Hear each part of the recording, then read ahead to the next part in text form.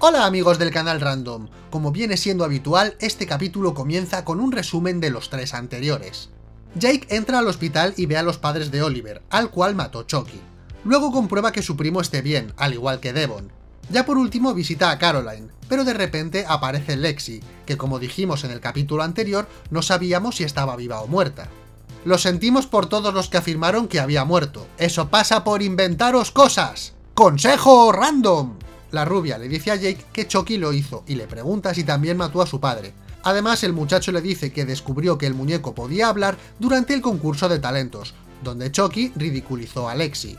Parece que la rubia no sabe dónde anda el muñeco, con lo que Jake le dice a Lexi que está en peligro, ya que fue él quien le dijo al muñeco que la matara. La rubia intenta decírselo a sus padres, pero Jake la detiene, porque claro, si ya la tomaban por idiota, ahora también pensarán que está loca. Total, que Lexi culpa a Jake de la muerte de Oliver el robanovias. La madre de Devon le visita en el hospital y como es detective aprovecha para preguntar si en la fiesta estuvieron Jake o Chucky y le cuenta a su hijo que Oliver no murió a causa del incendio. Pero vamos a ver señora, esto debería ser confidencial. Encima parece que el muñeco se entera de la conversación. Como no podía ser de otra forma, los padres de Lexi le echan la culpa de todo, ya que en primer lugar no deberían haber montado una fiesta, también porque su hermana está en la UCI, además que Oliver ha muerto y media casa está tostada. Y de nuevo Chucky escucha la conversación. ¿Cómo es posible que nadie haya visto al muñeco en el hospital? Es un misterio, muy misterioso. Jake está esperando en el pasillo frente a la habitación de Devon, ya que está más interesado en su amigo que en su primo, porque claro, el chaval está enamorado. Así que Devon le cuenta que a Oliver lo mataron a puñaladas, pero que le guarde el secreto. Si es que se veía venir, detective y madre del año. Encima le cuenta que la madre le preguntó por Chucky. El tío de Jake está nervioso y la toma con una máquina expendedora. Parece ser que está enfadado porque Junior tendrá que dejar de hacer deporte durante un mes por el daño en sus pulmones. Recordemos que Logan está obsesionado con que su hijo sea un deportista de élite. Este hombre también apunta a padre del año, ¿eh? En fin, que Logan le dice a la madre de Lexi que su hija es una irresponsable. Así que la señora responde que él somete a Junior a mucha presión, y encima mete a la detective por medio diciendo que su hijo tiene un podcast perturbador. En fin, que el padre de Lexi interviene y le regalan una hostia. Con lo que la detective se harta, los manda a callar y les cuenta que Oliver murió tras varias puñaladas, así que tendrá que interrogar a sus hijos. Lexi habla con Jake y deciden ir a buscar a Chucky a la casa. Los chicos cruzan bajo la cinta policial y usan unas linternas que no sabemos de dónde sacaron. Los padres de Junior le dicen que los médicos le harán una broncoscopia, pero cuando anestesian al chaval ve pasar a Chucky, el cual lleva un rato dando vueltas sin que nadie se dé cuenta. Devon busca en internet si hay homicidios relacionados con un muñeco llamado Chucky, así que toca el flashback habitual sobre Charlie Ray, el cual pasó por una casa de acogida hasta que llevó al resto de niños a ver un cadáver, que se trataba de un bedel con el que tuvo un encontronazo tras haber pisado el suelo recién fregado. En fin, que los muchachos se asustan menos uno de ellos. Volvemos al presente, con Lexi y Jake entrando en la casa. Allí, la rubia descubre que el pelocho toma medicamentos contra la ansiedad y la depresión. Lexi le pregunta por qué quería matarla, entonces Jake dice que se lo merecía, y la rubia cae, aunque el chaval la agarra justo a tiempo. Pero de repente aparece Chucky que tiene media cara derretida e intenta convencer a Jake para que deje caer a Lexi, aunque el chaval no le hace caso y ayuda a subir a la rubia.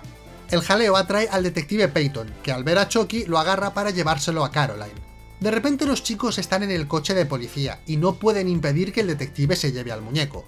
Evans les deja salir y se lleva a Jake para interrogarlo, Mientras, Lexi intenta encontrar al detective que tiene a Chucky, al cual ve pasar mientras estaba con su hermana Caroline, con lo que la rubia sale de la habitación y se encuentra con Devon, que le cuenta que ha descubierto algo sobre Chucky.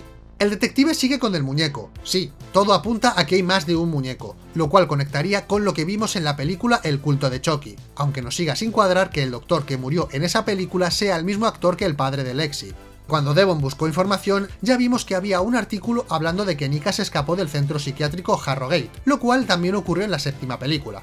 Insisto, si no habéis visto las películas, pinchad en este vídeo donde hablamos de todas. En fin, que esto podría explicar que el muñeco pareciera que se teletransportará en algunas ocasiones, ya que podría haber más de un muñeco. Como buen policía, Peyton se alimenta de rosquillas y prueba todos los dulces que dejaron a Caroline, como si esto fuera un buffet libre. Chucky le lanza un bisturí que se clava en su médula espinal dejándolo inmovilizado, con lo que aprovecha el momento y lo mata clavándole repetidamente varias inyecciones. Estamos de vuelta con el flashback, donde el joven Charles Lee Ray le hace un regalo al niño que no se asustó al ver el cadáver. Dentro de la caja está la mano derecha del Bedel, y como siempre vamos a hablar de un error, ya que la mano cortada debía ser la izquierda y no la derecha, ya que antes vimos que la mano derecha no tenía ningún tatuaje y que la que le cortaron fue la izquierda. ¡Realismo!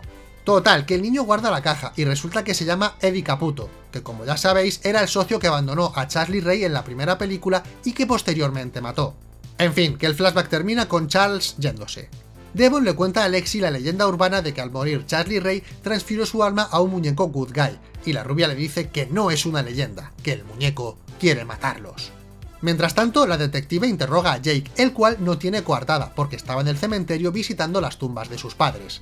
Así que la detective le presiona, preguntándole si mató a su padre porque le pegaba, o si mató a Oliver porque le intimidaba, o por encerrarle en un cuarto oscuro y justo cuando Jake va a decir que fue Chucky, este, por el poder del guion, desconecta el cable de la máquina que permite respirar a Caroline interrumpiéndoles. Una enfermera conecta la máquina y tras un minuto con la habitación llena de gente, encuentran el cadáver del detective. Porque en esta serie nadie se da cuenta de las cosas. ¿Se quema la casa y hay explosiones? Bah, da igual, estoy escuchando música y tengo los ojos cerrados. ¿Hay un cadáver en el suelo que está lleno de sangre? Pues tampoco nos damos cuenta. ¡Fiesta! Total, que el episodio termina con Chucky haciéndonos una peineta. ¡Toma!